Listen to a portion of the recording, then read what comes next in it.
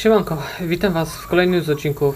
E, Dzisiaj będzie odcinek z czyszczenia gaźnika. E, Nagrywam to drugi raz, ponieważ musiałem e, usunąć co nieco z karty pamięci, a na dysku na komputerze nie miałem miejsca. Na zawody potrzebowałem jak najwięcej miejsca po prostu na karcie pamięci. Pokażę Wam jak ja tutaj czyszczę gaźniczek. Mam nadzieję, że będziecie wszystko widzieć. Jest to Molkt 26 gaźnik.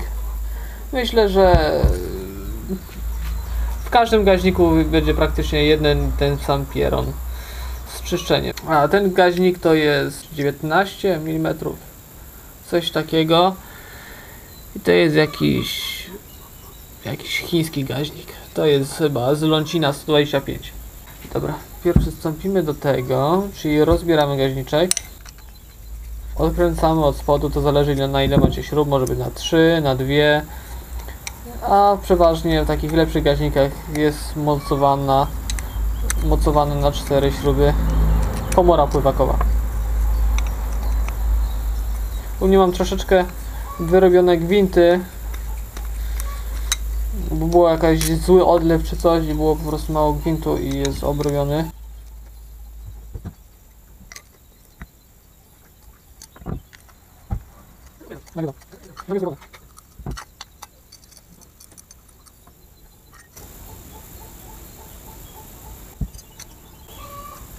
Wyciągamy uszczelkę.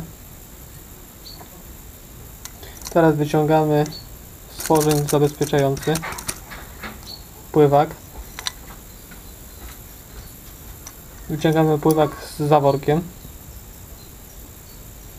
Mam nadzieję, że widać, no nie mam fokusu na kamerce. Następnie co? Yy, tego tak szczerze nie trzeba robić, w sensie odkręcać dyszy. Można odkręcić cały całą nie jak to się nazywa ogólnie. Ogólnie całą dyszę z tym. W tym przypadku jest ona krótka. Dlatego wziąłem ten drugi gaźnik. Tu akurat jest właśnie krótka dysza. Przeważnie na przykład w 100 yy, w Mikuni 25 jest taka dysza ta ogólnie dłuższa. Nie mówię o tej nakręcanej tylko ogólnie o tej tu nie wiem adapterze czy jakoś tak pod iglicę Yy, dobra. Jak widzicie, tu wystaje iglica i ona, ta iglica, przymyka yy, dyszę. Przymyka dyszę i poprzez dodawanie gazu zwiększacie albo zmniejszacie przepływ yy, paliwa yy, przez tą dyszę, nie? Odkręcę teraz ten drugi gaźnik. Żeby pokazać o co chodzi, bo chyba jak dobrze pamiętam to w tym gaźniku Właśnie było to rozwiązanie na tej dłuższej dyszy i to jest bardzo ważne, co Wam chcę pokazać. Bo może mało osób w ten sposób czyści.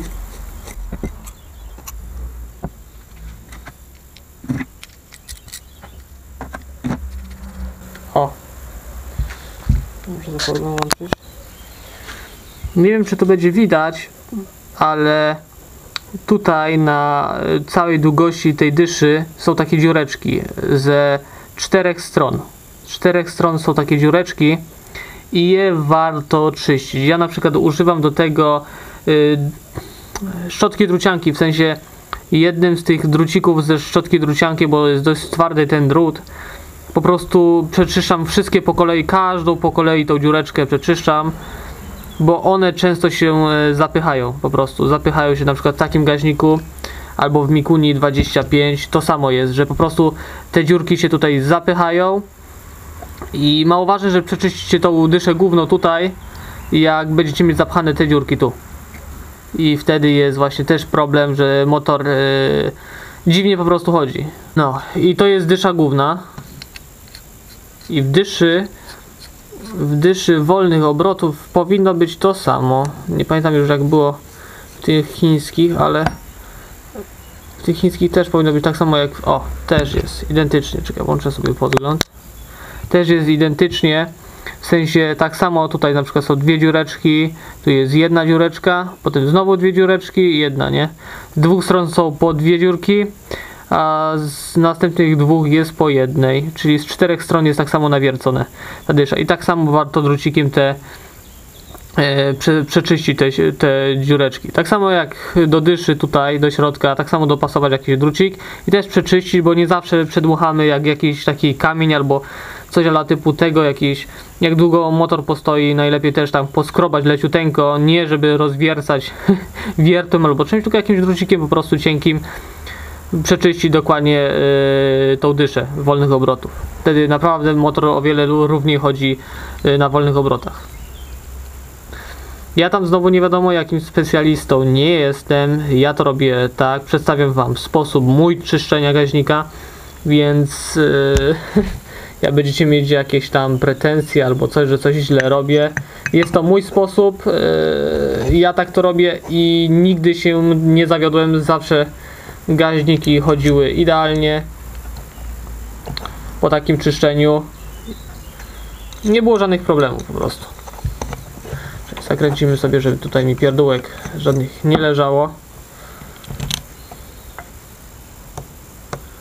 Syk. No i dobra, ten gaźnik możemy odłożyć na bok.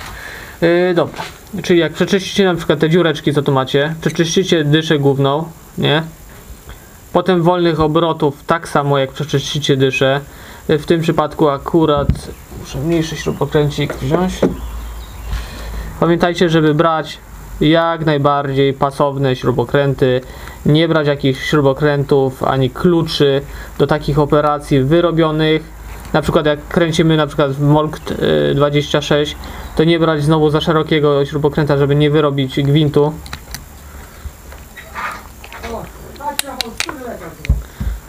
O, i tu jest na przykład taka dysza. Ona właśnie tak samo, bez dziureczek, jak, jak dysza główna. Jest bez żadnych dziureczek, bez niczego i tu jest ten właśnie pies pogrzebany, że troszeczkę ciężej się takie gaźniki czyści. Takie gaźniki się troszeczkę ciężej y, czyści.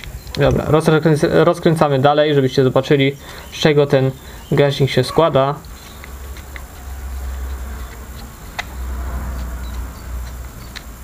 Aha, jeszcze zapomniałem jedną bardzo ważną sprawę, że jak już rozkręcacie, przeważnie się tego nie robi, bo jest to niepotrzebne. Wystarczy tylko dmuchnąć kompresorem. Y, Rzadko co zaleca się tak kręce, wykręcanie yy, ogólnie yy, śruby od yy, składu mieszanki. Yy, I pamiętajcie, że tu jest taka sprężynka zawsze pod tą śrubą przy każdym gaźniku. Yy, może ona czasem twardo siedzieć i zostać w środku yy, w otworku i wtedy trzeba ją wydubać.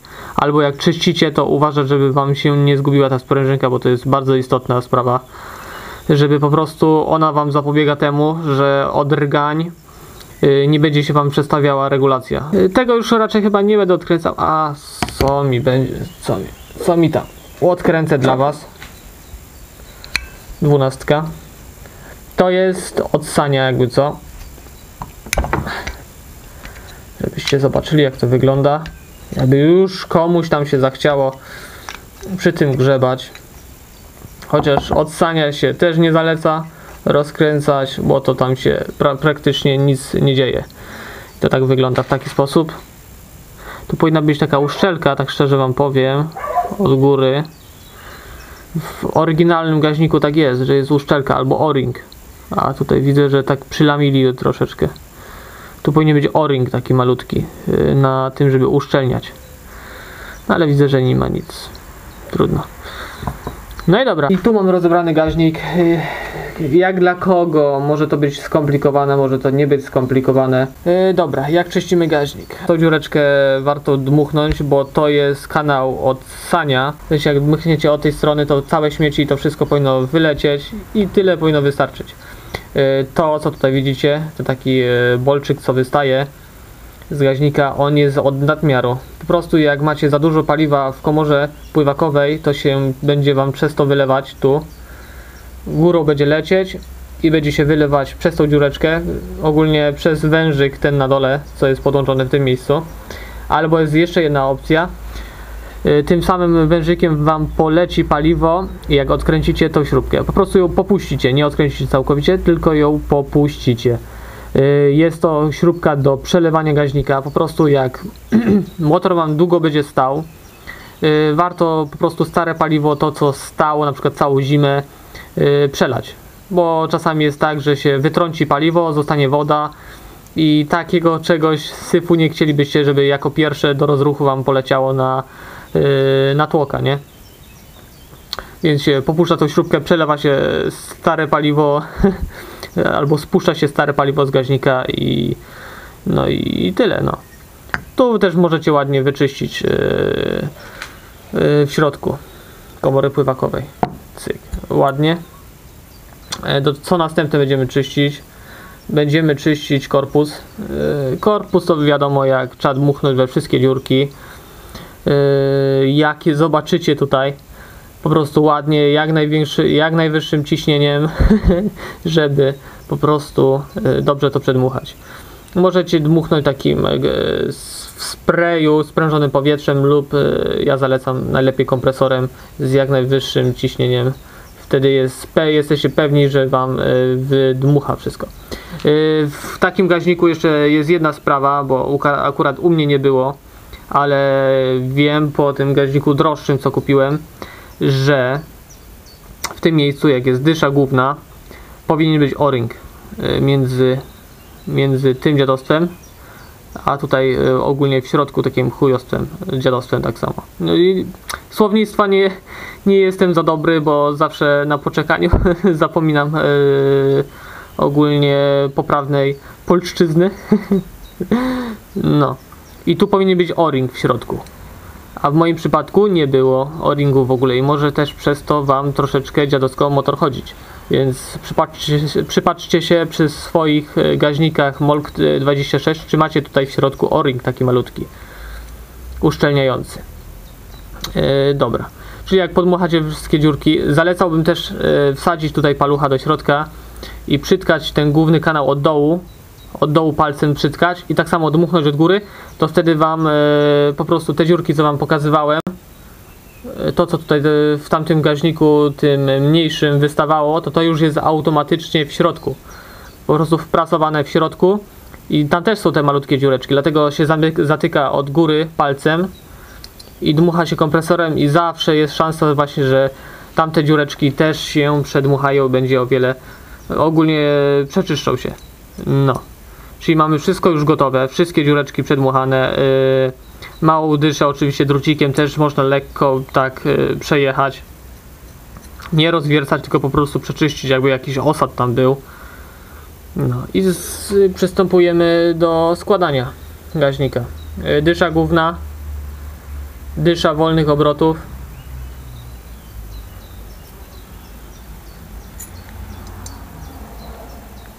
I tych elementów nie dokręcamy nie wiadomo jak mocno.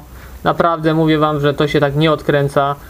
Tak szczuciem lek nie za lekko, ani nie za silno, po prostu tak szczuciem, bo to wszystko jest z mosiądzu i lubi, lubią, lubią się gwinty przerywać, jak ktoś nie ma wyobraźni. Dobra, zamontowaliśmy dyszę główną, dyszę wolnych obrotów i teraz za, zakładamy yy, pływak ze zaworkiem. Nie wiem, czy będziecie to widzieć. Yy, zaworek najlepiej sobie pierw założyć na taką blaszkę tu. Yy, ta blaszka tutaj, co jest między ogólnie blaszkę, co tu widzicie, na którą będę teraz zakładał o pływa yy, zaworek. Tą blaszką się steruje yy, poziom paliwa w komorze pływako- pływakowej, czyli odginacie albo przyginacie zwiększacie albo zmniejszacie paliwo w komorze pływakowej. W sensie to działa w ten sposób, iż yy, wcześniej albo później yy, pływak dociska zaworek. I jak już założyliśmy o, na tą blaszkę ten zaworek, możemy sobie ładnie trafić tutaj. O, o kurde, spadł mi. File. Jeszcze raz. Troszeczkę mi lat, latają ręce. Możemy sobie ładnie trafić. O, cyk, cyk. Wkładamy w ten sposób i zabezpieczamy stworzniem. Cyk. Zalecam zostawić ustawienia fabryczne, e, nie kombinować e, z poziomem e, paliwa w komorze pływakowej, jak się na tym nie zna. Naprawdę standardowe ustawienia są w jak naj, najlepszym porządku, więc według mnie to jest nieopłacalne takie grzebanie przy tym. Uszczelka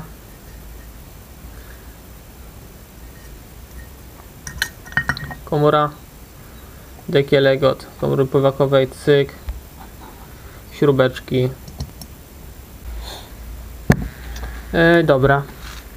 Następnie co? Tu możemy sobie ładnie to wszystko wyczyścić. Sprawdzić, czy gumka tu nie jest rozwalona. Ona tak samo jest, to jest gumka uszczelniająca. Tu też powinien być jakiś o-ring. y, Też sprawdzić, czy nie jest pęknięty. Czy to wszystko działa. No i zakładamy swoje miejsce. To jest od stania. Jeszcze raz przypominam. Wszystko dokręcamy z czuciem. Nie dowalamy nie wiadomo jak mocno. Naprawdę nie ma takiej potrzeby.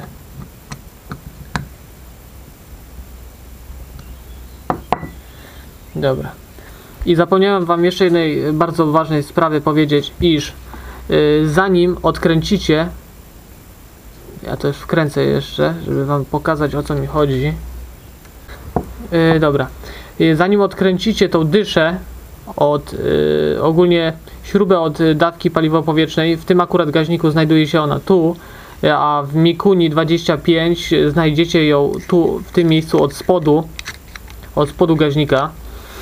Yy, zanim ją odkręcicie, jak już będziecie odkręcać, bo nie zalecałbym grzebanie przy tym, bo nie, nie ma takiej potrzeby, żeby ją odkręcać, jest wkręcenie dyszy do, do, do końca. W sensie dokręcamy dyszę, żeby sprawdzić na jakim mamy ustawieniu obecnie. Więc dokręcamy co pół obrotu i sprawdzamy na ile jest, ogólnie liczymy ile jest y, wkręcona nasza dysza. I dokręcamy pół obrotu jeden obrót pół obrotu. O, powiedzmy, że jest półtora obrotu. I nie dociągamy tego na siłę.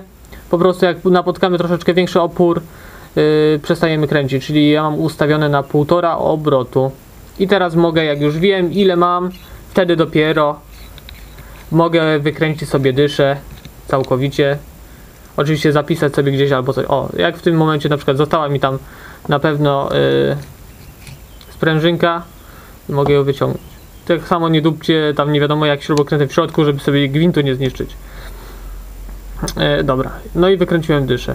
Yy, tak samo, potem jak wkręcamy dyszę, już zapamiętaliśmy, zapisaliśmy sobie na kartce ile mamy, to wtedy sobie dokręcamy dyszę do końca. Oczywiście nie na maksa, jak już napotkamy troszeczkę większy opór, to przestajemy kręcić. O, tu już jest koniec.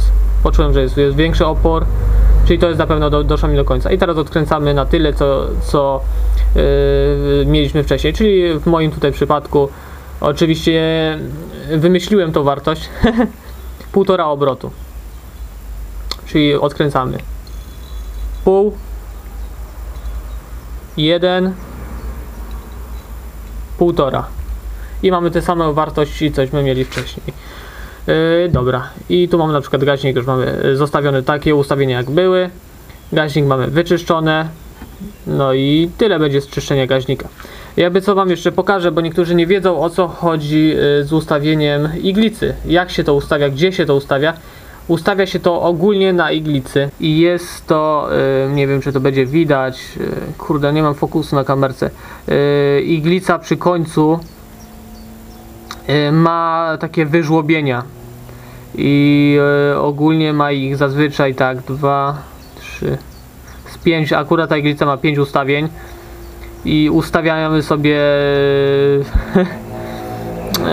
y, na niej moment otwarcia y, kiedy nam ma się otwierać y, dysza główna w sensie ciężko, jest, ciężko mi jest to wyjaśnić tak y, jak najprościej się da w sensie jak dajemy gaz podnosi nam się przepustnica puszcza nam powietrze i iglicą ustawiamy sobie w którym momencie tak samo ma się otwierać y, dysza główna w sensie podawać, zac- zaczynać podawać paliwo i wtedy tak jakby też ustawiamy tą dawkę paliwowo-powietrzną.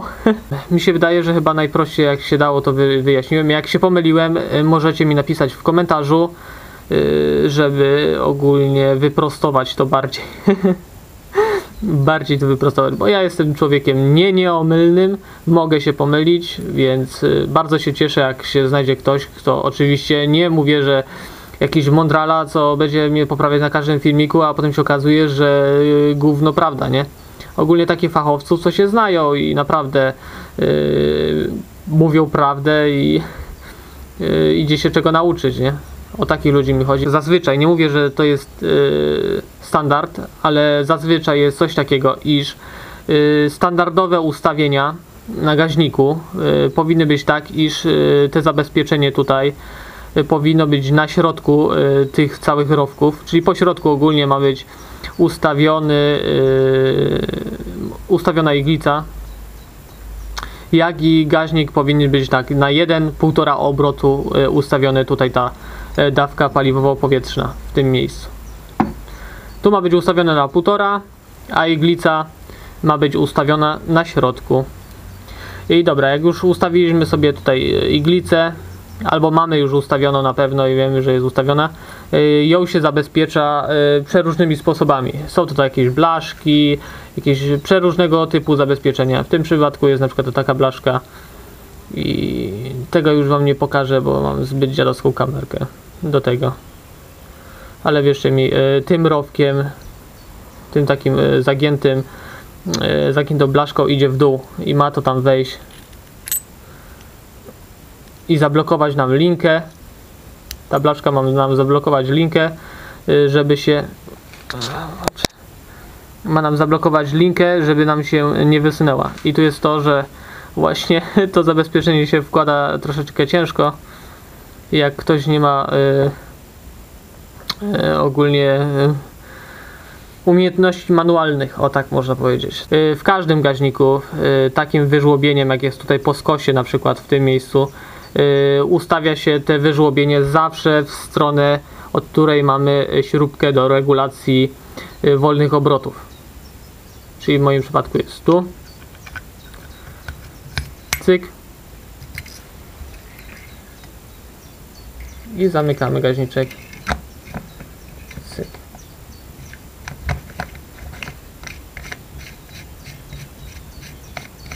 Y, Zapomniałem powiedzieć, że pod tym tak samo powinna być uszczelka. Pod yy, nakrętką całą tą od gaźnika od góry. Też ma być uszczelka, bo ma być to wszystko yy, szczelne w tym, w tym musi być szczelne w taki sposób, żeby nie łapało lewego powietrza. Powie, powietrze tylko powinno być zaciągane od strony filtra powietrza, nie powinno być zaciągane ani tutaj gdzieś koło u tej uszczelki, ani gdzieś tutaj na ssaniu, ani e, choćby nawet jakby było wyrobione gniazdo przy regulacji e, wolnych obrotów, nie może nigdzie Wam zaciągać lewego powietrza. Wtedy, bo jak zacznie zaciągać Wam lewe powietrze, tu uszczelka będzie walnięta albo źle coś przykręcicie, to już będzie Wam dziadowsko fi- yy, motor palił. Będziemy myśleli, że ustawienie gaźnika jest dziadowskie, że gaźnik jest dalej zatkany, ale wtedy jest tylko i wyłącznie to, że ciągnie Wam lewe powietrze i nie da rady ustawić idealnie dawki paliwowo-powietrznej. Dlatego jest istotne to, bo inaczej yy, powietrze dostaje silnik nadmiar i gówno z Waszej tutaj regulacji jest z tymi śrubkami i tym wszystkim, nie? No. No i tu jest ta e, śrubka od regulacji wolnych obrotów. Ona działa na zasadzie takiej, że jak wkręcacie tą śrubkę, to Wam się tutaj e, przepustnica otwiera e, więcej po prostu. Po prostu wkręcacie i ona podpiera przepustnicę, żeby nie opadała niżej. No i tym śrubką sobie rozkręcacie albo dokręcacie i regulujecie wolne obroty na silniku, jakie ma być, ma, jakie mają być. Na tym gaźniku są cztery opcje regulacji regulacja y, dawki paliwowo-powietrznej w tym, w tym miejscu, y, regulacja wolnych obrotów w tym miejscu, regulacja na iglicy, to jest trzecia regulacja, i regulacja y, paliwa w komorze pływakowej, w sensie na tej blaszce, co się przygina albo odgina. I cztery opcje regulacji. W tym tak samo jest, są cztery opcje regulacji. Yy, śrubka od yy, yy, wolnych obrotów, dawki paliwowo- paliwowo-powietrznej, tak samo tutaj jest na iglicy i na komorze pływakowej ta blaszka, poziom paliwa na komorze pływakowej. No i tyle no. Filmik będzie troszeczkę długi, nie ukrywajmy. Zobaczymy kiedy mi się go uda przesłać przez tego romanego neta, ale mam nadzieję, że Wam pomogłem. W miarę jasno to wyjaśniłem, pokazałem. Jak nie będziecie coś wiedzieć, to piszcie w komentarzu. Zapraszam Was oczywiście na grupę na Facebooku. e, Link będzie w opisie jak zawsze. Możecie wbijać, tam będzie, możecie więcej się rzeczy dowiedzieć a propos Waszych pitów. Będziecie chcieć, będziecie chcieć kupić jakiegoś używanego pitbike'a albo sprzedać. E, Nie ma takiego problemu. E, No i co? No i będzie tyle w temacie, więc na razie trzymajcie się. Hej!